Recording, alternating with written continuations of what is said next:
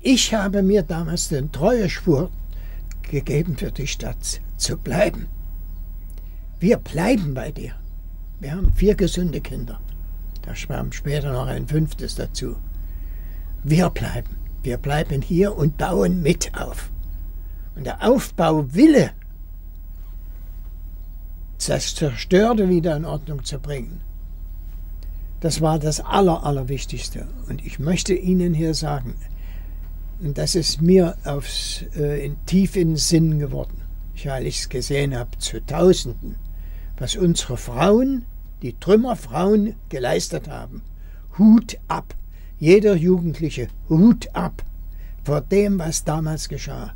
Tausende von Frauen haben dafür gesorgt, dass in einem Jahr die Innenstadt Transport durchgängig wurde. Dass wieder Gleise zu sehen waren. Ein Jahr lang.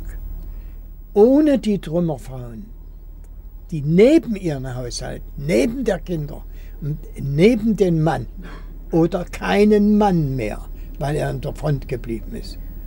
Darf man nie vergessen.